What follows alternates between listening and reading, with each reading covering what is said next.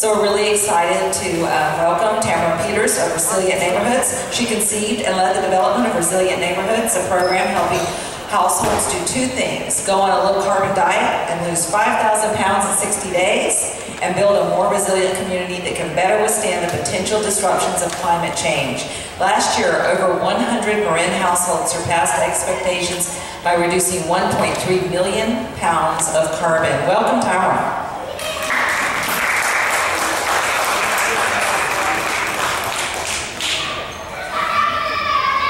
Thanks hi everybody. Um, it's really great to be here with all of you and celebrating Earth Day um, at Earth Day Marin. And Earth Day is something that's been very important to me my whole life. Back on April 27th, 22nd, 1970, the first Earth Day, um, I celebrated that and was so excited about it. I got my first job two months later at a group nobody had heard of called the Nature Conservancy. And I was there for 11 years, and during that time it grew from a staff of 15 across the country to 350 and started an international program. So um, from my perspective, um, the, you know, I feel like really good that I've been part of the environmental movement and seeing all the changes through the years. Even now, it's just like accepted all over the world that there's an environmental movement. I wanted to share two experiences with you about um, why I have hope that we can do something about climate change and why I believe we can do something about it here in Marin.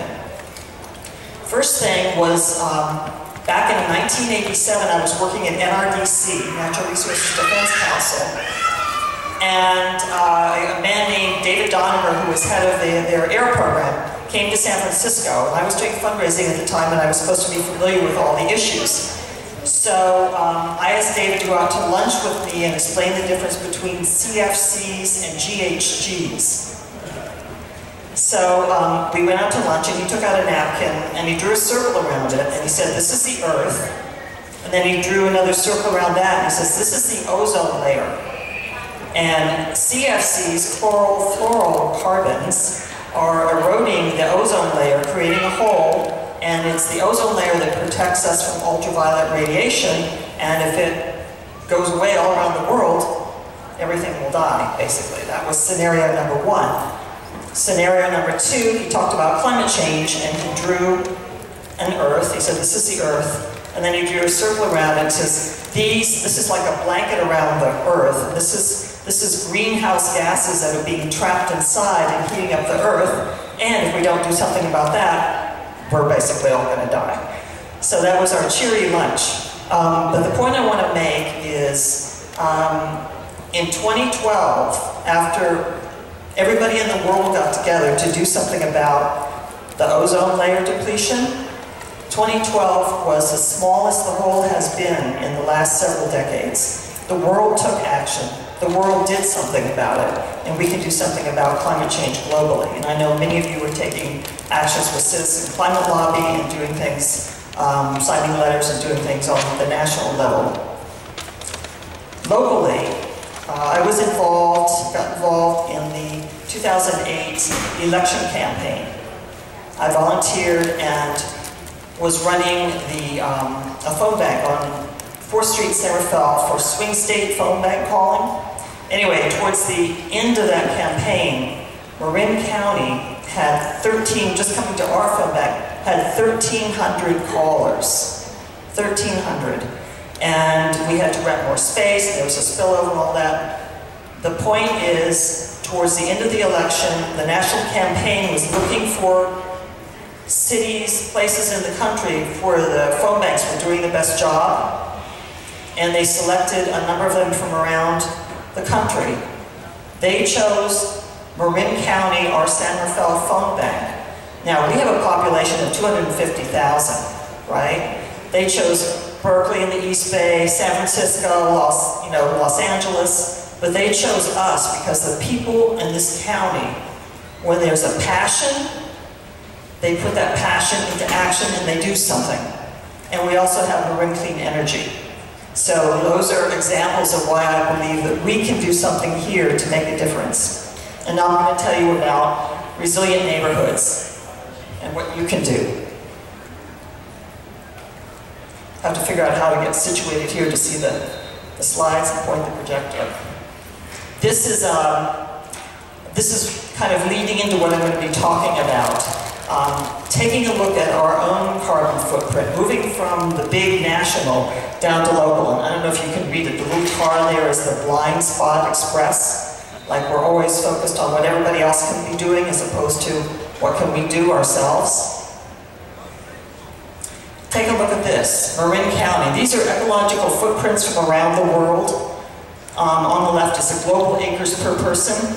It would take, it, every person in Marin County uses 27 global acres. Um, the green line going across is the globally available carrying capacity. If everybody in Marin lived our lifestyles, there would, it would take five Earths to support everybody. And even the developed countries, Japan, Italy, look, they're like about a third of what we have. Another thing I found very shocking, 70% of Marin's carbon footprint comes from the residents. It's not the government, it's not the businesses, it's us. Marin residents drive 2 billion miles a year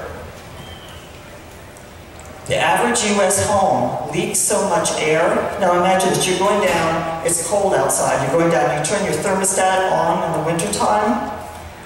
Most of our homes leak so much air, it's like you left the window open upstairs. And we wonder why we're cold in the winter even though the furnace is on.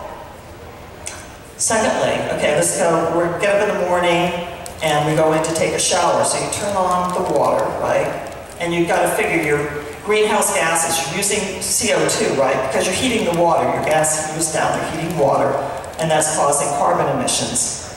But what you probably don't know is that the largest single use of energy and greenhouse gas emissions in the county is pumping the water back up to the water tank.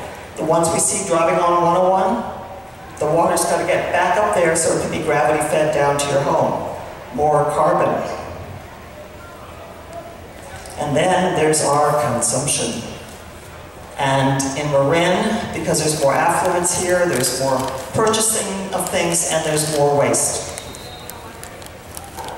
So the bad news are, is that we're a big part of the problem.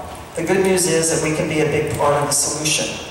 And those of you who have been listening to some of the other talks today, I think you've heard about climate action plans, that cities and towns in the county are required to do by um, AB 32 legislation on climate change. And it basically requires every municipality in the state of California to um, figure out what the carbon emissions are and to reduce it, to create a plan to reduce it. The city of San Rafael has put resilient neighborhoods into its climate action plan as a way to help residents reduce their carbon emissions. And Mill Valley, we hope will follow suit, Fairfax, and San Anselmo. So there's two parts of climate change that Resilient Neighborhoods works on. The first one is what you've been hearing a lot about today. Mitigation is the technical word for it, and it's the reducing carbon.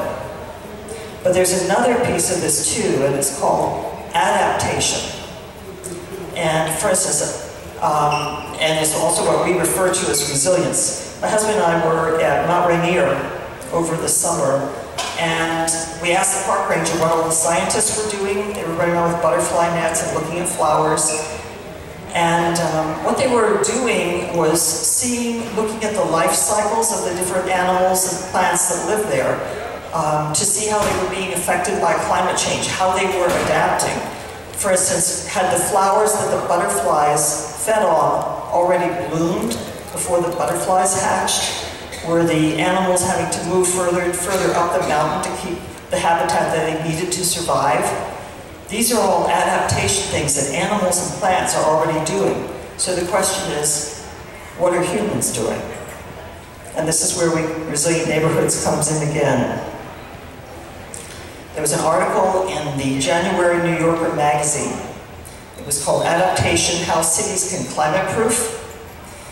And in that article, it talked to, they went looked at cities around the world and Um, they're talking a lot about infrastructure, the dikes, the dams, how to keep the, the um, subways from, flooding, that sort of thing.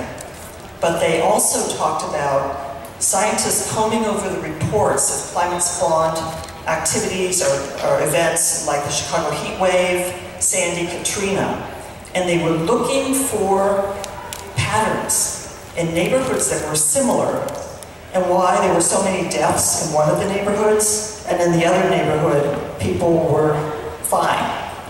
And what they found was it was the neighborhoods where people knew their neighbors, where people looked out for one another, or maybe there was a local business or church or something where people could congregate and that business owner was local and knew the neighbors and would come back and open up shop even though there'd been a disaster. Those were the neighborhoods where people survived and they called that social infrastructure. The, the survival rate was higher when there was social infrastructure. That's another thing that Resilient Neighborhoods does. We build social infrastructure by getting neighbors to know one another, look out for one another, support local business, and support the local economy. So let's look at resilience. What is resilience? This is the definition I like. The ability to respond with flexibility and strength as local and global conditions inevitably change. I'm going to give you some scenarios now to help you think about how resilient your family is, your community, your neighborhood. So imagine this. Um, you hear on the news that a Category 5 earthquake is coming through the Gulf. This time it goes by New Orleans and it slams into Houston, where two-thirds of the oil refining capacity for the country is. Three weeks later, the prices are $23 a gallon for gas, and people are freaking out. They're waiting in long lines, and even when they get up to get gas, they can't always afford to fill their tank. So maybe you've been through resilient neighborhoods and you've decided to go and buy an electric vehicle. So your neighbors are paying a dollar for a gallon of gas and you're paying two cents. So maybe through that social infrastructure, you can give your neighbors a ride to the grocery store and maybe they'll chip in a few heads of lettuce for your family. Um, another thing that we do, we encourage people to, to um, shop at the farmers markets Imagine that you've gone to the farmers markets a lot. You know the farmers there, and in this place where the trucks are going to have trouble bringing in food, right? They're paying all that money for gasoline too. You get to know some of the farmers and they give you the food, they let you kind of cut in line because you're a regular customer. Conserving resources. This reminds me of this spring when we've had so little rain. Imagine that it's the third year of drought in California and there's water wars cropping up everywhere. And you hear on the radio that Sonoma Water Agency has just cut all the water for its Marin, for Marin, basically. Um, and if you're in MMWD territory, we get 25% of of our water comes from Sonoma County. In the North Bay Water District, it's 80%. So Sonoma is going to serve its customers first. So we could be in a very, very dire straits. But once again, imagine that you and so many other people in Marin have gone through resilient neighborhoods or just conserve water on your own that we're doing okay. We have enough water left in our reservoirs. We've created that resilience. And then um, this scenario.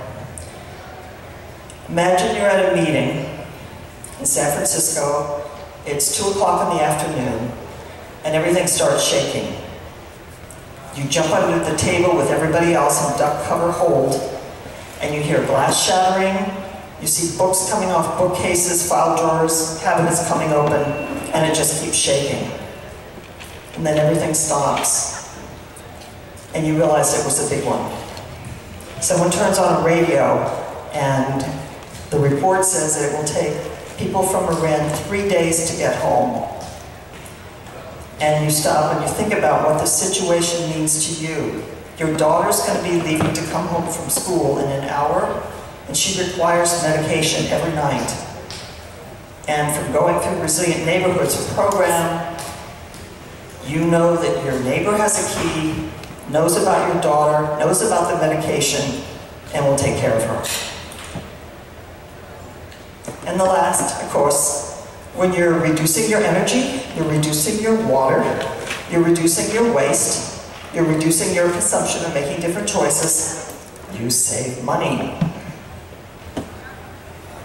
So how does the program work?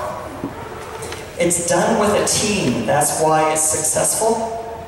Five to eight households get together and form this what we call an eco-team.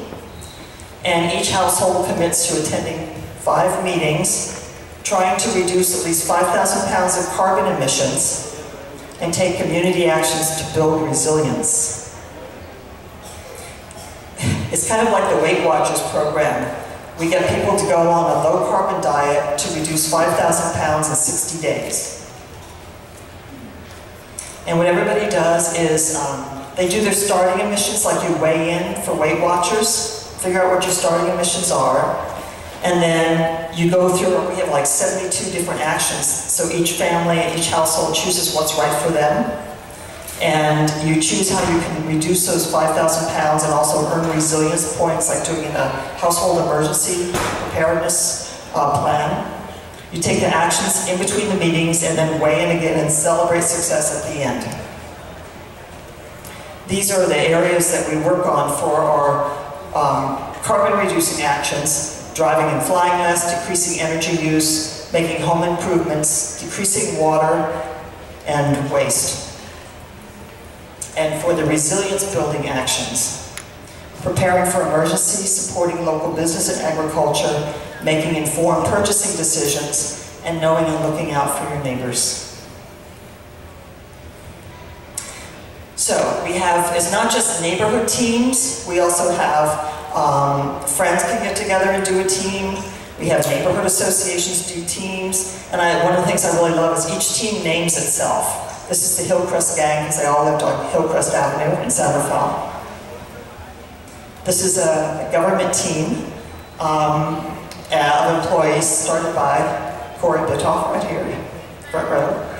And um, that's the assistant city manager on the left of the city of San Rafael and the Director of Community Development, and notice the great name. And our business teams and people do the program during their lunch hour at the office so they don't have to go anywhere. The San Rafael City Hall Carbon Annihilators. We have faith-based teams. Groups get together from church or synagogue. This is the Deep Green UUs, Unitarian Universalists. And we have business teams. This one we did at Marin Clean Energy and uh, MCE is their acronym, so they're the Marin Carbon Exterminators. As was mentioned earlier, last year was our pilot program, and we had, uh, our goal was to have 100 households reduce 500,000 pounds of carbon. We had 106 households reduce 1.3 million. And we'd ask each household to reduce about 5,000 pounds, and our average was 11,000. This is, again makes me really proud of Marin residents. The other thing that we do is the data that we collect from what our households have done and our teams have done, we separate it out so we can feed it back to the municipalities, the cities, the towns, and show what the residents have done as part of that city's climate action plan in other words, a, city's climate action plan includes what the government can do, which is like put solar panels on public garages or get electric vehicles as part of the city's fleet, that sort of thing. And you then you have the residential carbon emissions, which is what we do with our program, and then you have business carbon emissions, and there's a program for that called Greening for Profit. So our part can be fed into the cities and towns saying what the residents have been successful in reducing. And there again, um, Autodesk, the Autodesk Carbon None team, and the Fairfax Low Carbonators, our first Fairfax team. These were the results so far by municipality. And I'd like you to just imagine this with me for a moment.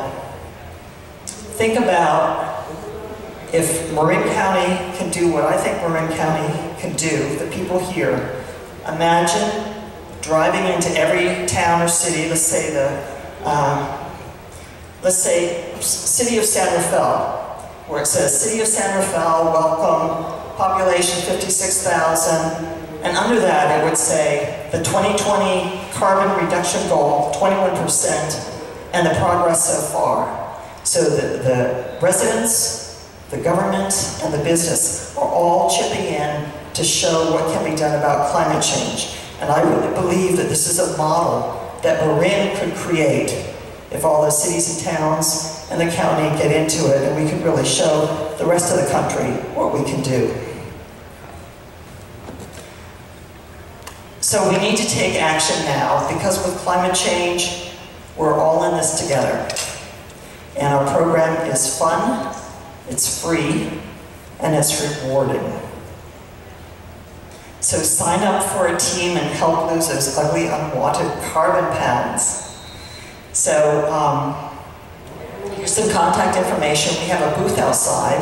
And if anybody is interested in signing up for a team or just getting, getting more information um, from us, we have some note cards. Just raise your hand and we'll give you a note card.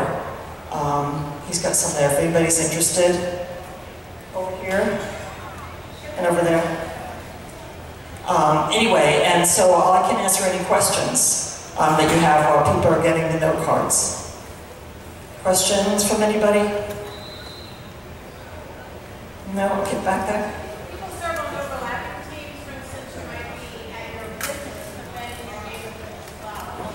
Um, it would probably be difficult to do because um, you probably would need to be on one or the other, but you could do it, um, say you wanted to do a business team, because you're doing it with your, your household, so you'd be doing it double.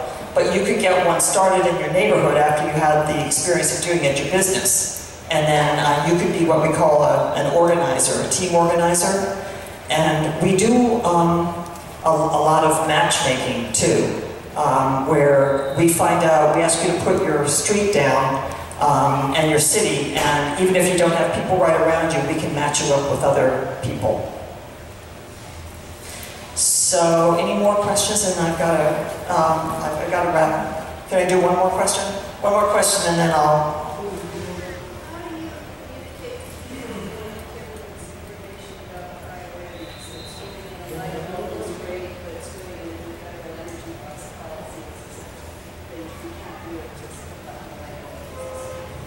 We don't, um, uh, we give an overview about climate change, but it's kind of two different things that people really need to put their energy into getting nationally and globally something done. And I'm a total member and supporter of 350.org and Citizens Climate Lobby and all that. Um, what is significant is in doing this program, you can actually see that uh, reducing a shower to five minutes reduces 350 pounds. Is that going to save the world? No.